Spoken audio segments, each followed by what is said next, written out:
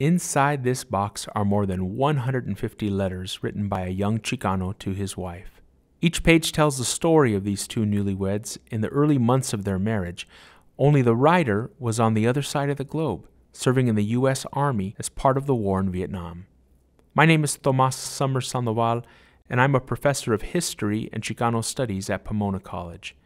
I'm also the director of Voices Veteranos, an effort to save documents like these before it's too late. Voices Veteranos preserves the history of Latino participation in the Vietnam War. We do that through oral histories and the letters written by and to Latino vets while they served. It works like this you lend us your letters, and we scan them using sensitive no touch technology. Then we return your letters to you, safe and sound. Your documents join a digital collection of other letters, photos, and oral histories, all of it meant to preserve this history for future generations.